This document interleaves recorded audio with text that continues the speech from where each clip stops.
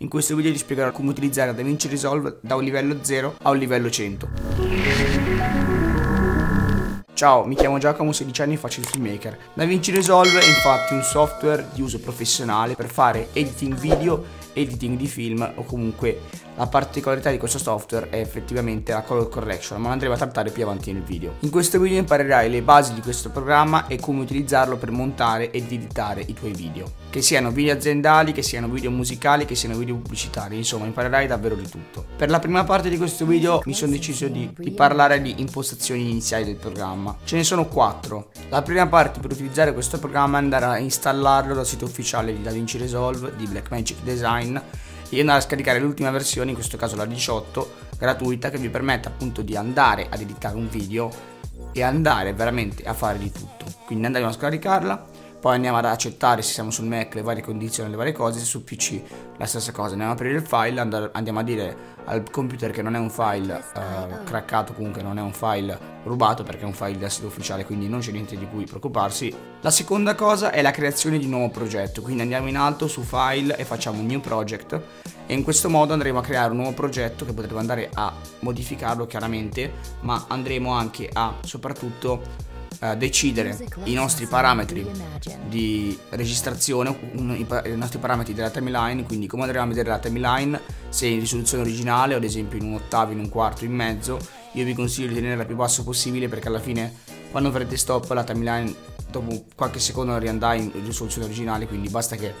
sostanzialmente per farla, fare la color correction fate pausa, fate, andate su un frame che va abbastanza bene, andate a fare la maschera sulla faccia per andare a schiarirla e andare a sistemare un paio di cose. Comunque questo video è interamente registrato con, cioè interamente editato da DaVinci Resolve e Final Cut, perché Final Cut mi serve proprio editarlo e DaVinci Resolve per fare la color correction. Dovremo come terzo passo andare a importare le nostre foto, comunque i nostri video, che ci permetteranno appunto di andare a creare un vero e proprio video per andare poi a organizzare ed è fondamentale tutti i nostri file nelle cartelle che ci sono all'interno di, eh, di, creare delle nuove cartelle all'interno di DaVinci Resolve e di andare a mettere in ogni cartella dei file, quindi ad esempio foto, video e audio. Seconda parte è la parte vera e propria del montaggio,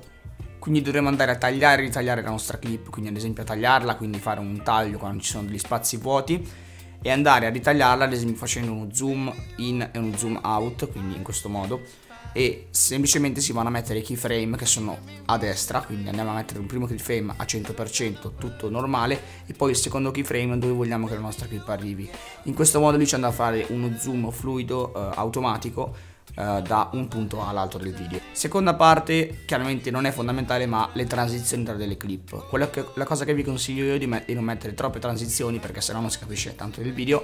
o comunque almeno se mettere delle transizioni non mettere le classiche transizioni di PowerPoint, ma cercare qualcosa magari di un po' più particolare, un po' più magari fatto meglio, come la dissolvenza normale o qualsiasi altra cosa che però non sia la tipica, la tipica dissolvenza PowerPoint. Terza parte, regolazione dell'audio, quindi andremo qua con questa linea sotto il video, andremo a regolare il nostro audio, andremo a alzarlo, abbassarlo eh, oppure direttamente a toglierlo e chiaramente negli effetti in alto a destra dove c'è anche la parte per zoomare che vi ho fatto vedere prima, nella parte audio selezionando la clip possiamo andare a abbassarla e alzarla, ma andare mettere degli effetti particolari. Quarta parte andare a mettere degli effetti visivi e dell'audio, dell ad esempio di rumori, delle altre cose che possiamo andare a scaricare da dei siti tipo freesoundeffect.org che sono gratuiti oppure per quanto riguarda il video possiamo andare a, a, scaricarlo da dei siti bisogna pagare però chiaramente la licenza oppure farli noi e poi andare a metterli all'interno del nostro video come birollo comunque figatelli. Parte 3 color correction che è forse la parte più per quale si, si, si sceglie di solito DaVinci Resolve. La prima cosa che bisogna andare a fare è andare a correggere la nostra clip quindi se ci sono zone bruciate comunque se c'è se abbiamo un file RAW, ad esempio di questa camera che sto registrando con la Blackmagic, possiamo andare a cambiare un po', chiaramente non tutto, ma possiamo andare a cambiare ad esempio l'ISO, il bilanciamento dei gradi Kelvin, o comunque molte cose che con una macchina normale non possiamo andare a fare. Chiaramente con una macchina normale su DaVinci Resolve possiamo andare a controllare ad esempio l'esposizione, uh, possiamo andare a, controllare tante cose, possiamo andare a mettere tanti effetti, ma la cosa che vi consiglio all'inizio di fare, prima di fare un look creativo che vedremo dopo, è di andare proprio a correggere, quindi fare una color correction, perché la differenza tra color grading e color correction è che il color grading si andrà a mettere un look personalizzato alla nostra immagine e la color correction invece si andrà a proprio a correggere quella che è la nostra immagine, quindi andiamo a, ad esempio andare a fare delle maschere su dei punti, ad esempio la faccia la andiamo a schiarire, se ad esempio vedevamo che dalla vita reale era una, era una cosa diversa, oppure andremo a fare delle altre maschere, delle altre cose. Chiaramente questa fase è molto importante della correzione perché se andremo a fare un look senza correggere l'immagine si andrà un po' a avere un'immagine un po' strana. Quindi la prima cosa che bisogna fare è correggere l'immagine, se abbiamo delle cose da correggere, settare il bilanciamento del bianco se abbiamo la possibilità di farlo con un file raw, se non ce l'abbiamo non farlo, e comunque andare a controllare questi parametri che sono fondamentali. Secondo passo, regolazione della luminosità. Questa cosa è molto importante, proprio come la prima, infatti se andiamo a avere una clip sottoesposta di qualche stop potremmo andare anche a, recupera a, recuperarla con qualche camera chiaramente non con l'iPhone ma con tipo le camere professionali tipo la mia. Si può andare a recuperare qualche stop di eh, sottoesposizione e qualche stop di overexposing però chiaramente scene in cui una, una, luce è bruciata come qua dietro come vedete non si può andare a recuperare almeno se non avete il file raw se avete il file raw si può andare a sistemare qualcosina ma chiaramente non si può andare completamente a stravolgere l'immagine. La particolarità del file raw che eh, sono i file che si possono andare a registrare con le macchine professionali tipo la Ursa mia ma anche con le Blackmagic Pocket o comunque con altre camere è il fatto che possiamo andare a cambiare gli ISO in post produzione possiamo andare a cambiare tante cose in post produzione che con altre camere non possiamo fare assolutamente Sempre nel secondo passo chiaramente c'è la saturazione e il contrasto dell'immagine, ad esempio questa è un'immagine più contrastata di questa, quindi vedete la differenza. E soprattutto anche la saturazione dell'immagine, perché un'immagine zero saturata sarà un'immagine in bianco e nero, un'immagine super saturata sarà un'immagine comunque molto strana, mm, molto satura, con i colori molto vividi.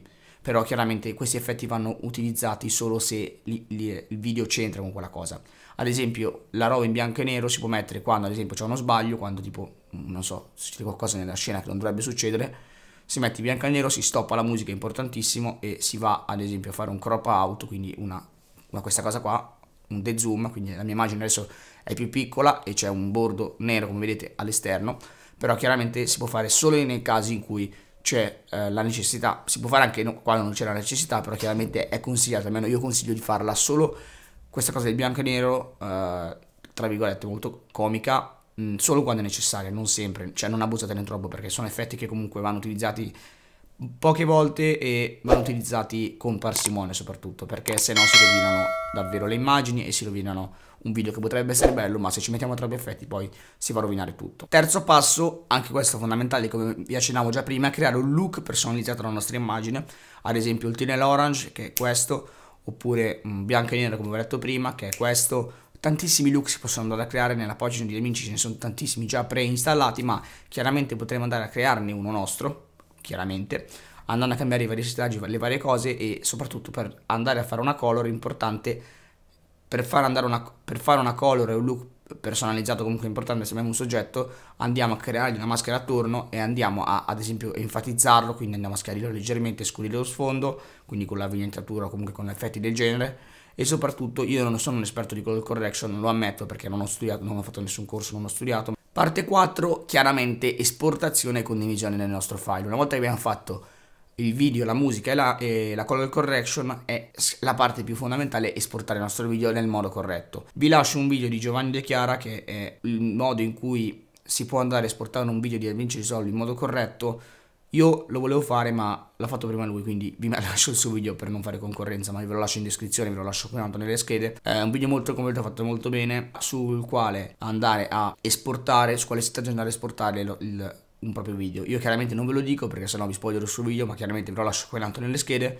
Eh, e che dire niente. Mh, mm, dopo questa fase chiaramente andare a, a, esportarlo sul nostro su youtube piuttosto che su altre piattaforme per andare a condividere il nostro file il nostro video. E chiaramente spero che questo video vi sia piaciuto, fatemelo sapere con un commento, con un like e con un'iscrizione, con un'iscrizione al canale che abbiamo superato i 100, chiaramente il video ve lo lascio in descrizione per i 100 iscritti. E niente, noi ci vediamo come al solito al prossimo video, ciao!